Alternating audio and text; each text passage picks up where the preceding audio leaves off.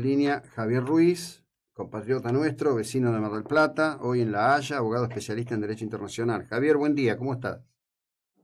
Buen día, José Luis, ¿cómo estás? Un gusto saludarte. Igualmente, igualmente. Bueno, parece que todo tiende a, mm. complicarse y nada se simplifica.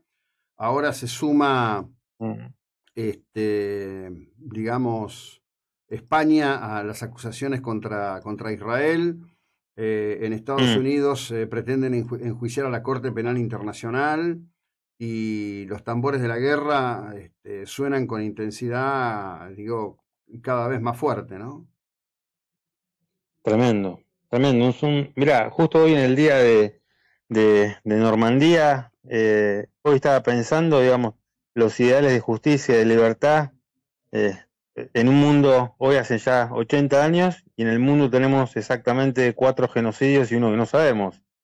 Tenemos Ucrania por un lado con Rusia, tenemos el caso de Siria, tenemos el genocidio del Chad con Etiopía, y tenemos la guerra de sangrienta entre Israel y Gaza. O sea, es, es la verdad lamentable. Y bueno, y Myanmar con los Rohingyas allá, o sea, es como que en estos 80 años hubo una evolución entre lo que es la ley internacional por una parte, pero la política internacional va por otra. O sea, en la medida que la armonía entre los dos no, no vayan por carriles comunes, o sea, vamos a seguir encontrándonos con cosas absurdas. O sea, eh, primero lo que estás mencionando hoy a la mañana, o sea, que España se, se sume a la demanda de Sudáfrica contra Israel, las sanciones, las probables sanciones de, de Estados Unidos, pero necesarias para Estados Unidos, para la Corte, y también, bueno, el mismo conflicto que tiende a, regionalizarse, ¿no? Por el Líbano ahora. Eso es, eh, a mí me da, eh, me da tanto miedo en términos de una guerra que se puede perpetuar, una, una región, a ver, una guerra, un conflicto que se va a regionalizar más de lo que está. Sí, claro.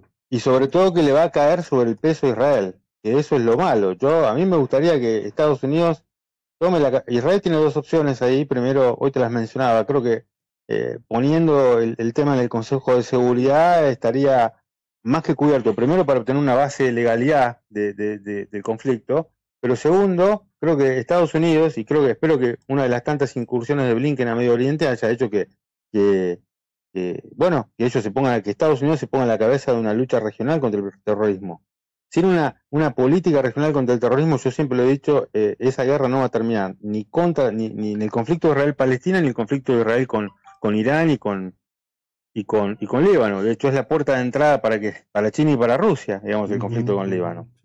Ahora bien, respecto de lo que mencionabas hace un rato, eh, España que se sume, yo, yo no, no escuché eh, lo que dijo el, el sé que esta mañana habló el canciller de, España, Albanares, sí. pero y España lo que puede hacer es solamente, eh, a ver, eh, ponerse en categoría o incorporarse al litigio de Sudáfrica en la Corte Internacional de Justicia, este, lo puede hacer solamente como tercero Estado. Y es la intervención que está facultado por el artículo 63 del Estatuto de la Corte, en los cuales los terceros estados o cualquier estado miembro de la Convención del Genocidio puede incorporarse a la al, litigio, pero solo para interpretar y expresar la posición del Estado en cuanto a la interpretación de la Convención del Genocidio. No puede demandar a, eh, a Israel, o sea, como, como hace entender, yo, yo, he leído solamente un comunicado de la, de la, de la Oficina de Prensa de, de España. O sea, ellos solo pueden interpretar objetivamente la ley, la, perdón, la Convención sobre la Sanción y Prevención del Genocidio pero no pueden, no pueden incorporarse como lo hizo Palestina hace una semana. ¿Por qué? Porque Palestina se incorporó hace una semana la demanda contra Israel, contra Israel de Sudáfrica, Palestina lo hace porque reviste un interés jurídico y lo que está afectado es un interés subjetivo, digamos, un derecho, hay un derecho propio, digamos, que está afectado. Lo que no veo, lo que no veo yo que España, no sé cómo lo habrá planteado, porque no lo he leído, pero si España lo ha planteado eh, eh, afectando un derecho propio, le van a poner la excepción de la independencia y la falta de objeto procesal, porque España no es parte, eh, mejor dicho, no tiene ningún derecho propio afectado. Sí puede intervenir en cuanto a la interpretación objetiva de la Convención del Genocidio, como lo pueden hacer los demás Estados miembros. Pero España no reviste un interés directo en el conflicto. O sea, mm. España puede intervenir como lo mencioné al principio, en los términos del artículo 63, pero no en los términos del artículo 62 como co-demandante de Sudáfrica. Sí, ¿eh? según, dicen los medios españoles a esta hora de la mañana, Álvarez expresa la posición del Premier Sánchez, eh, buscando em, entrar al procedimiento eh, para que la paz regrese a Gaza y Medio Oriente y por el compromiso con el derecho internacional, en el deseo de respaldar el tribunal en su labor, fortalecer Naciones Unidas, apoyar el papel del tribunal como lo que es el máximo órgano judicial del sistema. Este, no, mm. no dio más razones que esas. Lo, lo, va a hacer, eh, a ver, eso es un, es un, es un comentario para la propia tribuna, para sí, claro. Este, pero no, no lo puede hacer, no lo puede hacer eh, más que para, lo, puede hacer en los términos del 63, para manifestar una interpretación del Estado en, respecto a la Convención del Genocidio, pero no puede hacerlo como co-demandante porque no reviste un interés legítimo afectado ni un derecho objetivo afectado. Claro. Así que nada. Y el otro elemento, y el otro elemento que mencionabas era el tema de las sanciones que Estados Unidos quiere. Mira, justo hoy en el día de la quienes luchaban por la libertad y por la justicia, bueno, hoy, hoy 80 años después, el, parte del, de la Cámara de Representantes quieren sancionar a la Corte Penal Internacional por haber emitido solicitudes de arresto para, para el israelí. O sea, ellos quieren, o sea, definitivamente a Estados Unidos lo va a terminar de unir con la Corte Penal Internacional el espanto, porque los unen los enemigos y no los ideales, el legado de Nuremberg y todo eso, digamos. Sí. Yo em, lo que veo es eh, la impronta republicana se quedó en el año 2019-2020, donde el mundo de Trump era totalmente distinto al mundo de ahora, donde no estaba la amenaza de Putin, donde se ha emitido una solicitud de arresto que reitero, yo espero y yo confío en que se puede solucionar por el principio de complementariedad. Creo que Israel hará lo propio, un tribunal tomará los cargos de la Corte Penal y, iniciará un procedimiento allí y eso se va a solucionar por ese tema. Sospecho, no sospecho, tengo la intuición y creo que puede llegar a ser. Además hay otra herramienta también que es el artículo 16 que se puede diferir la investigación un año. Pero de ahí en adelante, que por esa razón Estados Unidos sanciona a la Corte, no lo creo. Sí tengo otra razón para, para esgrimir, yo creo que Estados Unidos necesita sancionar a la Corte Penal Internacional por dos motivos muy claros. El primer motivo es la el complicity en el tema de las armas. Hay argumentos sobrados para que entre Estados Unidos e Israel haya lo que se, lo que se denomina una empresa criminal conjunta. ¿Qué es esto?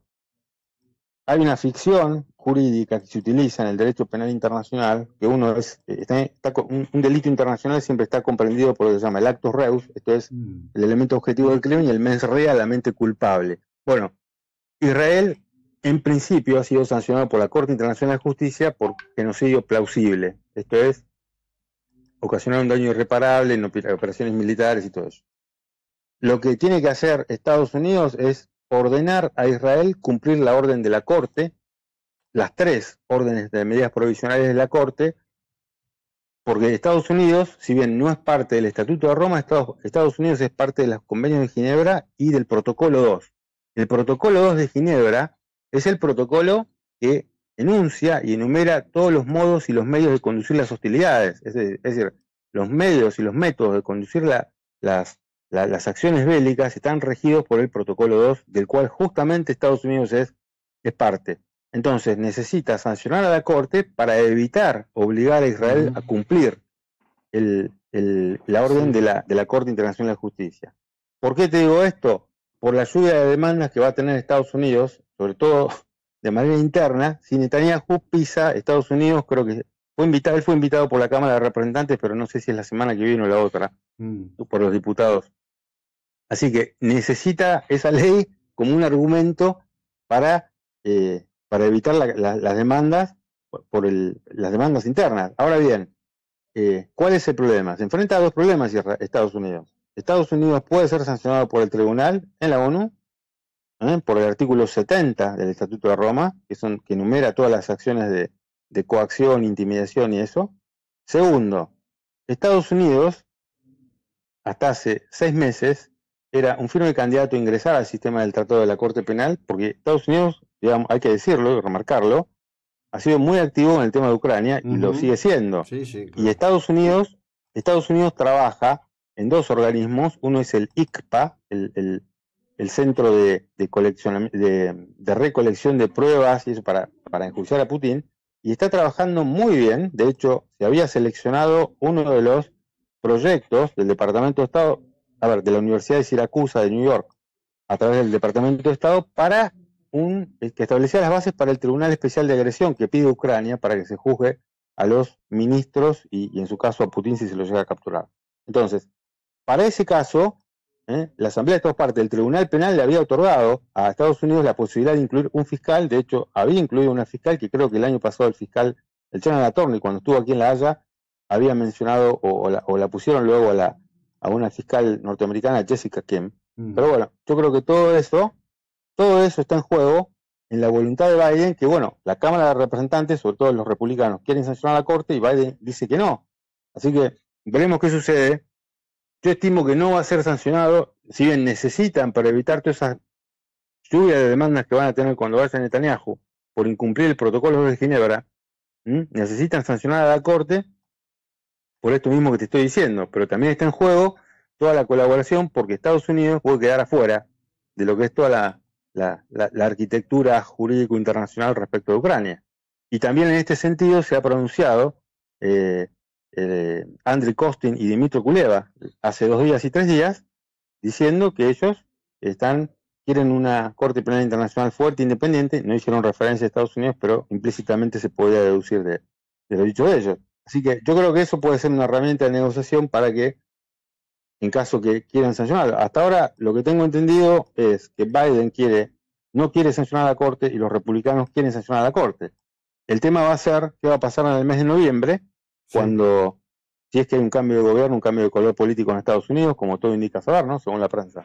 Vamos a ver, vamos a ver. Yo no, no lo veo tan claro, me parece que está demasiado justa esa, esa elección, demasiado apretada esa elección y últimamente hay que decir que en cualquier territorio del que se trate, las encuestas no han dicho mm. exactamente qué es lo que estaba pensando la gente. Pero bueno, como siempre, te agradezco enormemente el tiempo y la ilustración que nos dedicas. ¿eh? Un abrazo grande, muy amable.